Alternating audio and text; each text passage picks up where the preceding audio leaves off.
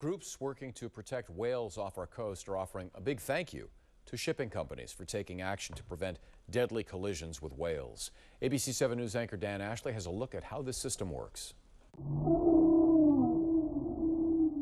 If they could do it in their own language, thousands of migrating whales would probably want to say thank you. So now a group of marine scientists is saying it for them. They're awarding several admittedly splashy whale tail trophies to commercial shipping companies, thanking them for slowing down to help protect the whales from deadly collisions. And I think it's something that's well deserved because we have a number of shipping lines who have drastically changed their operations and drastically changed their scheduling to ensure that they're slowing down to 10 knots. Jess Morton is with NOAA, the National Oceanic and Atmospheric Administration, and the California Marine Sanctuary Foundation. She says the awards are part of their Protecting Blue Whales and Blue Skies program, which asks shipping companies to reduce the speed of their vessels voluntarily. It's traditionally included financial incentives until now. The money really isn't the main incentive and the main reason that they want to be involved in this effort. And so, actually, this year, for the first time in 2023, this has become an incentive program that's just based on positive press and recognition.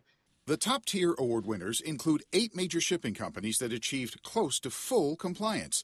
One winner, MSC, told us in a statement We are committed to making sustainable shipping a reality by doing everything in our power to protect marine life. Um, which is really exciting to see. And while the list of shipping companies participating in the program is growing, so is the technology behind it.